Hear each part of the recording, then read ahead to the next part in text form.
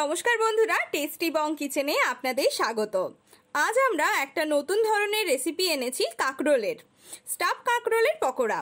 কাকরোল অনেক বাচ্চারা বা তার সাথে সাথে অনেক বড়রাও আছে যারা পছন্দ করে না। কিন্তু এটি এভাবে বানিয়ে দেখুন, সকলের খুবই পছন্দ হবে। আমরা নিশ্চিত এ ব্যাপারে। চলুন দেখে নিই রেসিপিটা